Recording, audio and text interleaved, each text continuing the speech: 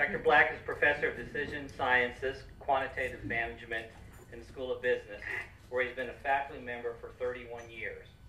Dr. Black received a Bachelor's of Arts degree in mathematics from Graceland College in Iowa, a Master's of Arts degree in mathematics education from the University of Texas at El Paso, and two PhD degrees from the University of North Texas, one in educational research and a second in business administration, both with an emphasis on applied statistics. But came to me yesterday that we're really focusing on a decade of research that didn't start for me until 2002, so I was like an old guy already when that happened. So here we go.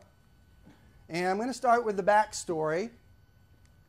And the backstory is uh, if you read the little blurb, in uh, about 1986, this graduate student came up to me and uh, he was, uh, I don't know, uh, aerospace or petroleum engineer. We had some really brilliant ones in the 80s that came, and after class he says, Hey, uh, Dr. Black, he says, What do you think about Deming? And of course, I was thinking about the town in southwest New Mexico.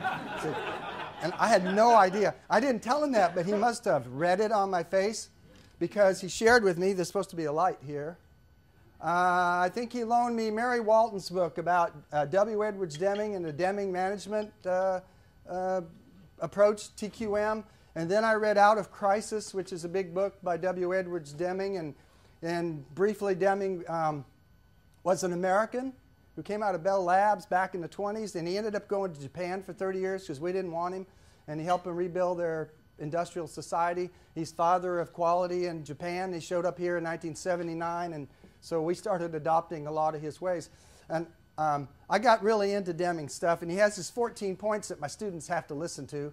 And there's, there's some really good ones in there, like cut out barriers to workmanship and drive out fear. It's a lot of really good stuff. Just and basic, what I've figured out is his philosophy is basically, look, if it's not about the product, if it's not going to make the product or the service better, it's a waste of time. It's just garbage, you know? So you can yell at the workers, you can stand on your head, you can have posters. It doesn't make any difference if the product isn't any better.